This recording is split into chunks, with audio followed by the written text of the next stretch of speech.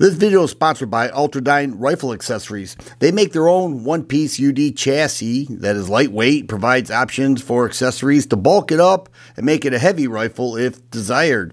You can have your choice of 10 Cerakote colors and it's available with the Remington 700 long and short action and the Savage short action. Ultradyne has adjustable buttstocks with a cheek piece that adjusts vertical and horizontal.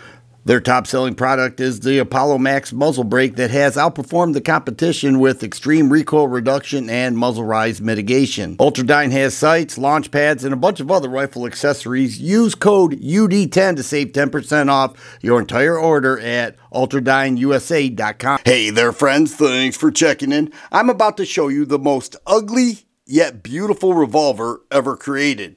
When we think about revolvers, we typically think of something like this, a Rossi RP63. This would represent your standard revolver.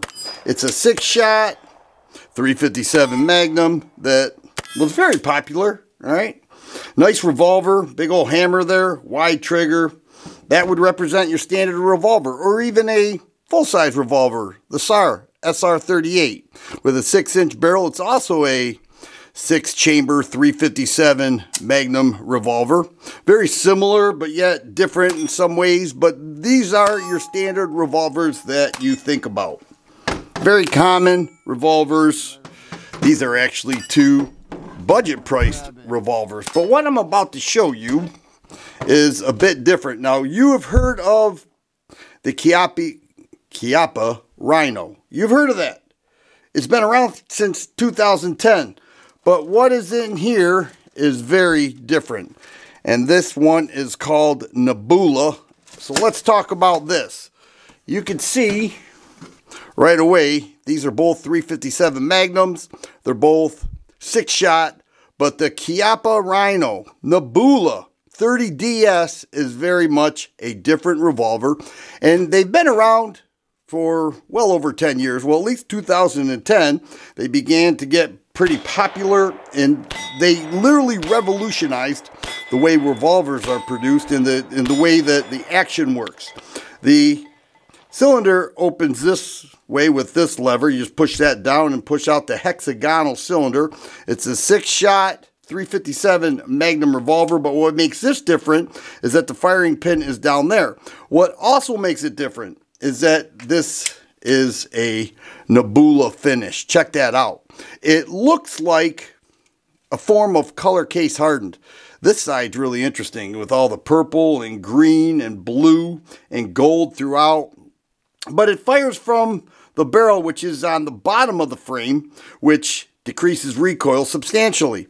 And so instead of the revolver tilting upward with recoil, it pushes backward. And I have some experience with the Chiappa Rhino models, but this one is the Nebula. Now, it's very expensive. It's got a three inch barrel. It has the six shot. It has fiber optic sights both in the rear, which are adjustable, and a orange or red in the front. The trigger is, is the double action revolver. All right, I already showed clear the double action is not bad, but this is a cocking arm.